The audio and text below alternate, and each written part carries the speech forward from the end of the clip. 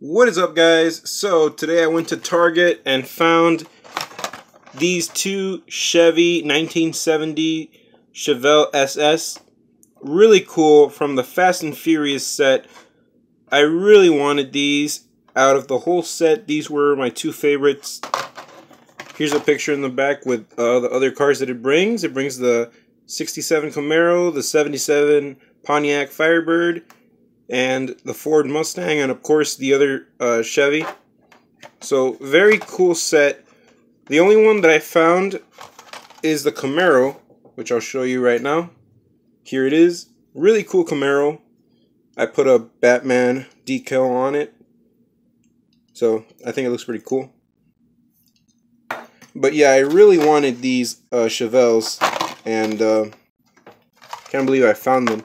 I went to Target, walked into the aisle, and there were like four of this one hanged up, but did not see this one until I started walking towards the register, and there was one of the workers with a cart filled with a bunch of merchandise, like they were gonna put it back on the shelves, and I saw this one in there, and I'm like, ooh. So I just got it, and the guy, the guy was like, oh yeah, cool, go ahead and get it. So, Found this one on my way out. And this one on the pegs. So really cool. I'm going to go ahead and open them up and give you guys a closer look at them. Okay, so here's the red one. Very cool red with black stripes. I like it. It's got really goo, uh, goo. it's got really good detailing. You can see the license plate there.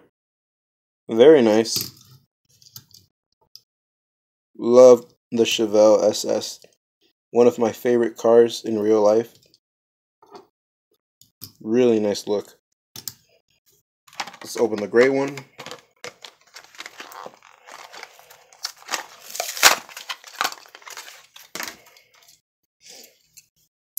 Okay, I love this one. It's just a plain matte gray. Very cool. Love the chrome rims on both of them. Really nice detail. Love it. And I do have another Chevelle Real Rider from Hot Wheels, so let me go ahead and get that to compare. Okay, so this one was released in 1998, so compare that to the ones released today. Definitely not as low as the new one, but pretty similar.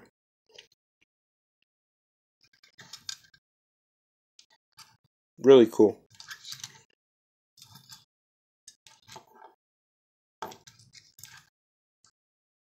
So, yep. Well, these are my finds for today, guys. I hope you enjoyed the video. Thanks for watching. Until next time, happy hunting, guys.